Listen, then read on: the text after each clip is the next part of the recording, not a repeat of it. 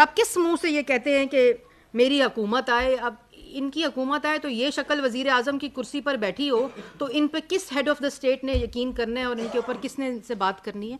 जिस जगह वज़ीर आज़म गए हैं पिछले छः महीने के अंदर शहबाज शरीफ साहब, इनके घटियापन की दास्तानें सुनाई जाती हैं।